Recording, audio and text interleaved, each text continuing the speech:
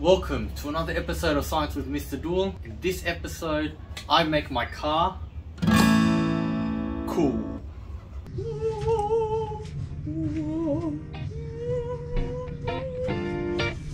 Oh, this is so heavy.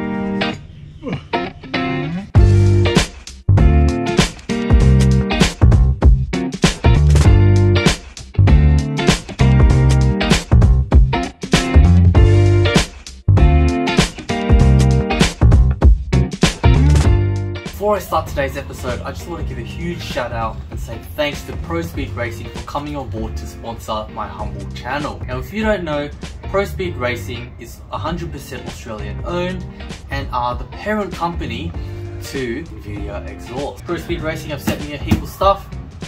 The next few episodes are going to be fully sick, so make sure you hit the subscribe button and ring the notification bell. Stay tuned to the end of this episode for a sick coupon code at Pro Speed Racing. So I got a bit excited and already opened the box. And the first thing I saw was some really detailed instructions. And now this is, I don't know how many pages, but it's all in color. And take it from me, I'm a teacher. Colored prints are worth quite a lot. You know, I can't even get colored prints at school unless I'm, I get I get it signed off by my boss. And here it is, just 20 or so pages, fully detailed, fully sick. Some pretty cool. There's some pretty cool stickers. I think there's another one somewhere in there. The pipes. Look at that. That's so cool. Oh man. Not, probably won't use that, but that looks sick. Let's go! Just a refresher on where the intercooler sits and what it does in a car. In this situation, it's specific to my car, but generally it applies to every car. Here we have Australia's best boxer printed on the boxer engine. As you're on the gas, the turbo will spool up, it sucks air through the intake, the turbo will transfer it up through the intercooler, and this is where the air gets condensed and cooled before it gets passed on through the engine for it to be used in a combustion reaction. After that, the exhaust gases are expelled through the exhaust. So the first step is to remove the factory intercooler and that's what it says in the instructions. It doesn't actually tell me how to do it, so let's give it a go.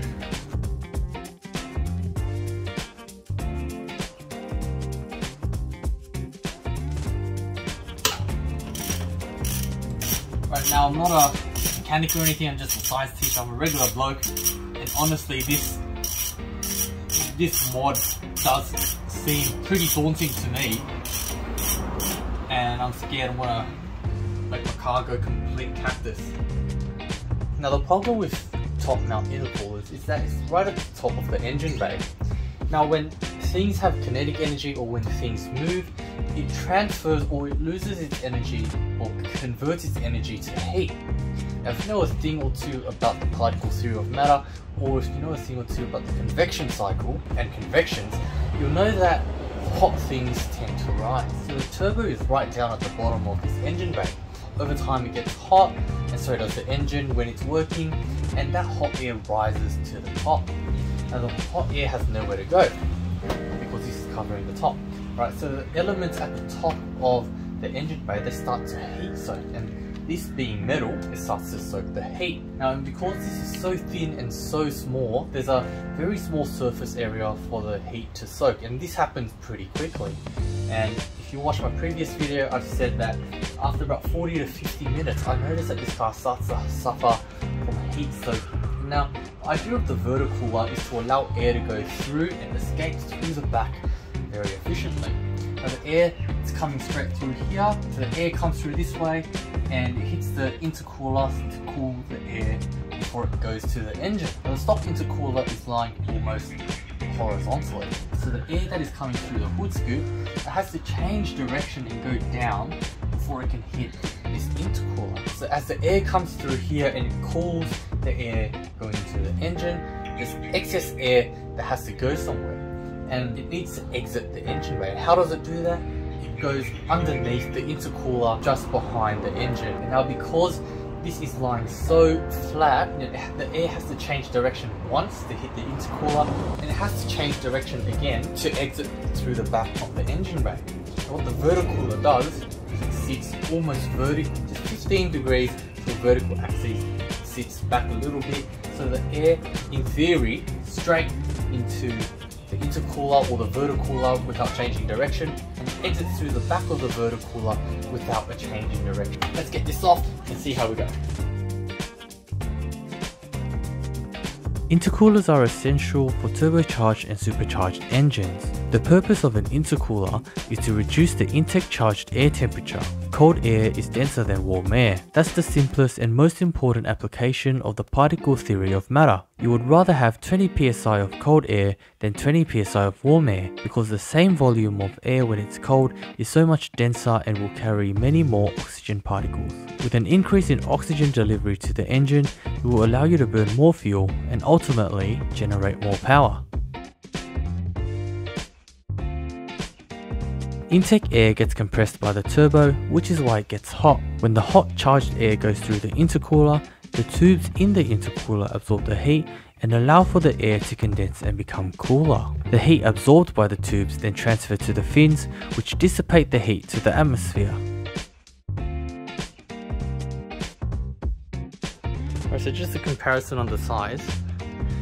If you have a look in terms of length, horizontal length, it's not that much different. The stock one might even be a little bit taller. But if I change to look at the width, this here is the money shot. The Process West Verticooler is probably twice the thickness.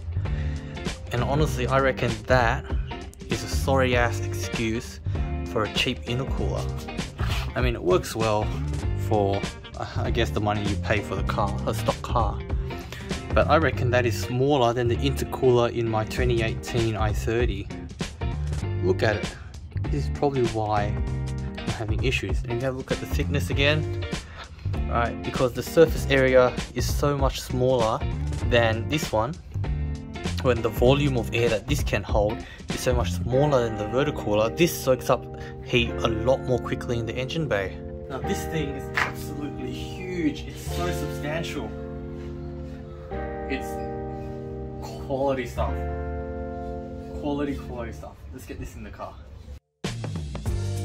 An added advantage of the verticooler is in its thickness, especially under low boost. Because it is much thicker than the stock intercooler, it takes a lot longer and much higher temperatures to be completely heat soaked. But when it does get completely heat soaked, for example, if you're on a track running at high boost, it will take the verticooler much longer to cool down because of its thickness. That being said though, it still takes a much longer time to heat soak over the stock intercooler under both low or high boost and in my opinion, is definitely a must-have modification for your car.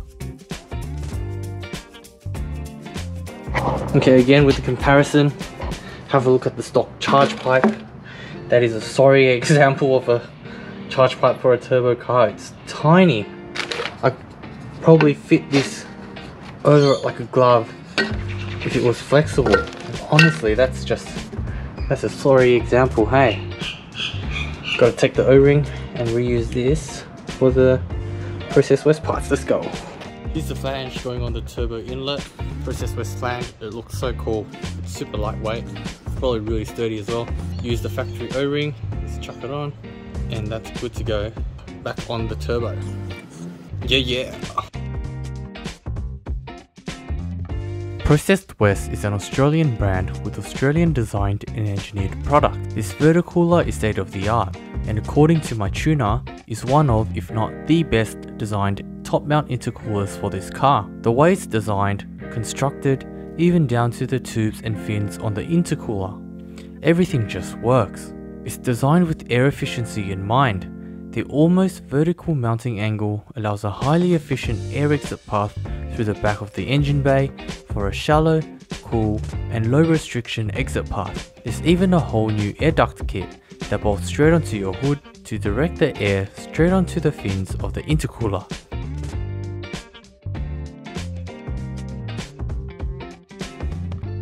Under low boost, The intake air temperature can get up to about 70 to 80 degrees Celsius and in excess of 100 degrees Celsius under high boost. Testing by Process West has found that the outlet temperature after the charged air has been through the stock intercooler dropped to about 50 degrees Celsius and to about 26 degrees Celsius for the verticooler.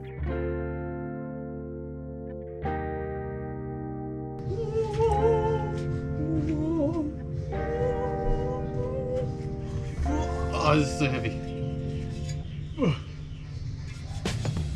Oh. All right. Oh. Okay. Let's see. Oh, that's annoying. That is annoying.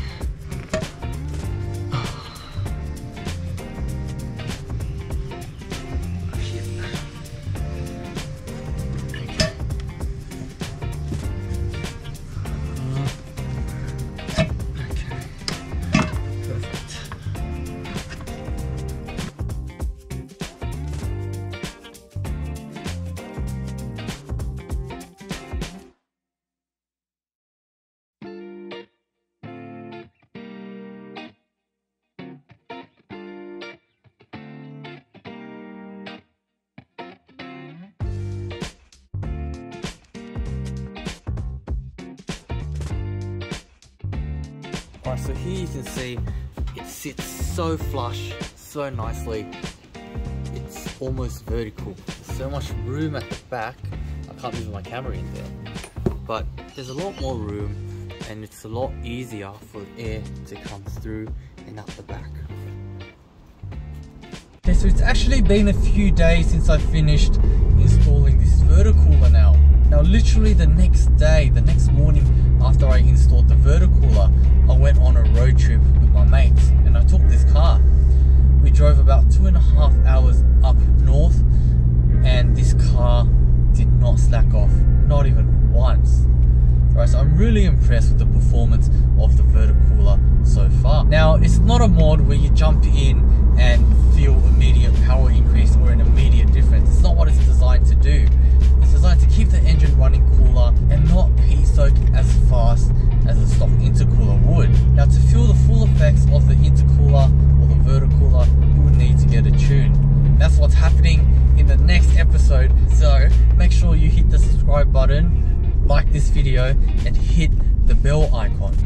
And again, thanks to Pro Speed Racing for coming on board to sponsor my modest channel. Pro Speed Racing are 100% Aussie owned and 100% Aussie operated. They are one of the biggest retailers for car parts and car mods in Australia. They stock up on parts for all Japanese and all European cars. Now if you're in Australia, there's a $15 flat rate shipping fee and from my experience the shipping was so good I had to wait for a few things to come in because they were out of stock now when it did come in I got an email notification at about 6 or 7 o'clock in the morning saying that it was on board for delivery.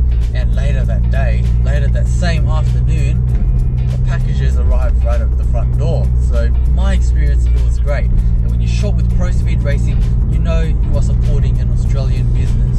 If you need car parts or if you want to shop at Pro Speed Racing,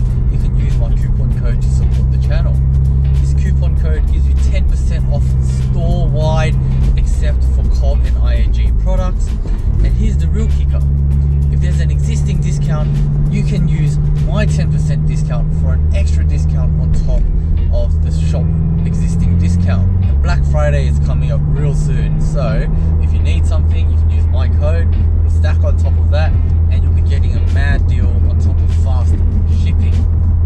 Thanks for watching guys. If you like what you've seen, please consider hitting that like button or even subscribing to the video. It would really mean a lot. If you need car parts, again, use my code. It supports the channel, but it also supports an Australian business, and you get a mad discount on car parts. Thanks for watching, and I'll see you in the next episode.